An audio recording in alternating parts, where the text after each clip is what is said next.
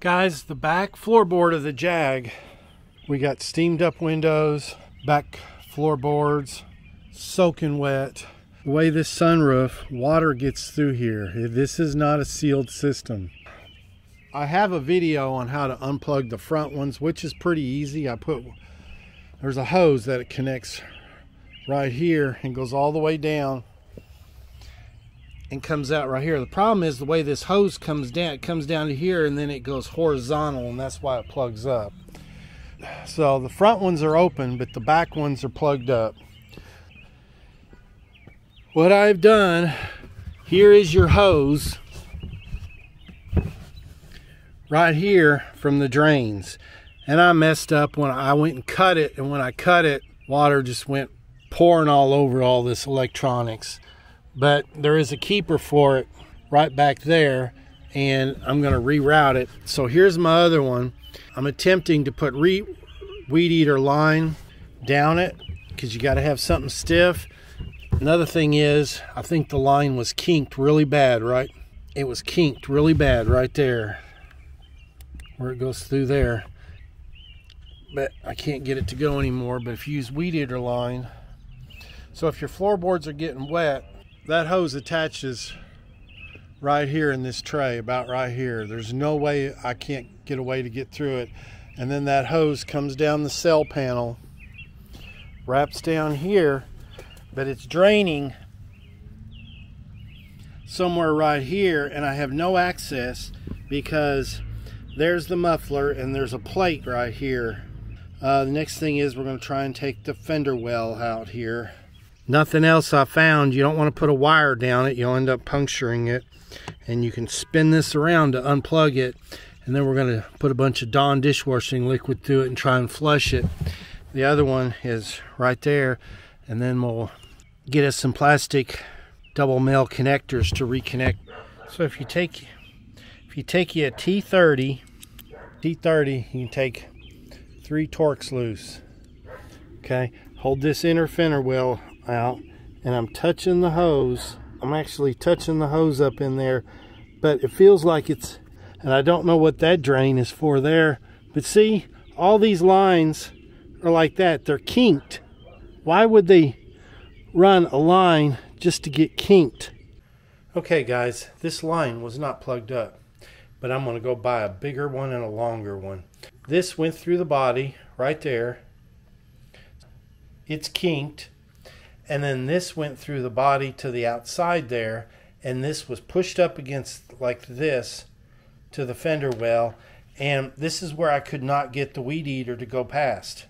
It's not plugged up it's just there's this red tape stuff right there which I believe that is supposed to be like that because it gives it some strength and keeps it from getting see that that's kinked so bad. But we got to go buy a splice anyways. Okay, O'Reilly's Auto Parts. Got me a new fittings. My issue is this grommet. There is no way in the world that I am going to be able to push this grommet back in like this. So what I'm proposing is I push it in from the front side, the inside. I got, I think I got enough access put some silicone grease around it. I think I could get it in that way, but I can't. I pushed it out from the inside because I can't get my fingers up in here without cutting a hole in the metal. But I think if I pushed it in this way, I think that'll work. That's my plan anyways. So that isn't even vacuum line. Uh, it's fuel line, but it was a piece that was already cut. All right, guys, this is what I had to do to gain access. I had to pull the car's computer out, but right back in here is where that hose goes. I guess that's what you got to go through to change the lights too. Change those lights, you're going to have to go through the same thing here. Sucks. Okay, on the left side, right here, is the hose coming down. And as you can see, as it goes through that hole right there, it is totally smashed down. I don't know if it's going to show up or not, but there's just, it's totally pinched. And downpour, there's no way.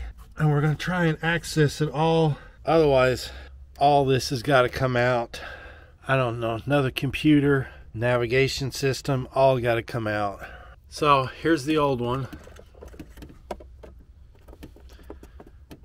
But see how it's all kinked up? And we're just going to replace it with this one.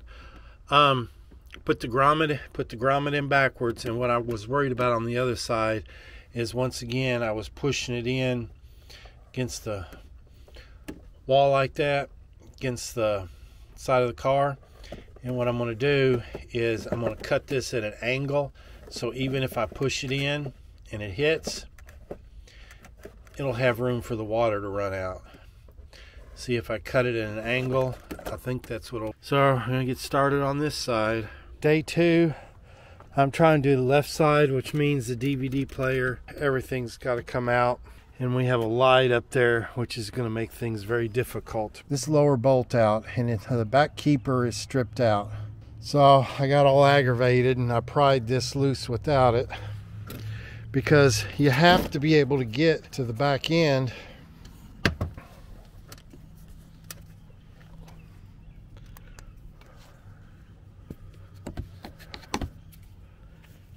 All right, there it is.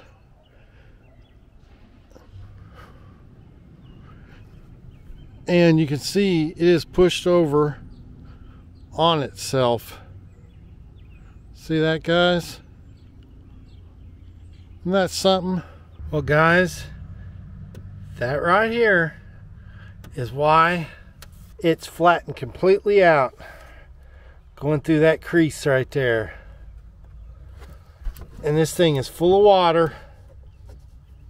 And that's why it ain't draining. It's totally kinked off. See it's completely smashed going through that hole right there. Whoever in their intimate I mean it's a manufacturing det they've got this white hose to see that white thing is supposed to keep it from they've wrapped tape around it to give it some strength but it obviously but here's the grommet right back there that we're dealing with. See that? And we're just gonna cut this line up here. Put a new one in, and we'll push it out the wheel well. Okay, interestingly, the red, the right side was red and the left side was white, but this is right up against the fender. You know, so that's totally kinked, and this is totally kinked like that where it came out there. So it's easy to push the grommet through right there. So you just push the grommet through and well, we'll take it off and we'll flip it around the other direction and we'll feed that new hose in there and put an put that nipple on there and it'll never ever leak again. Okay guys, there it is.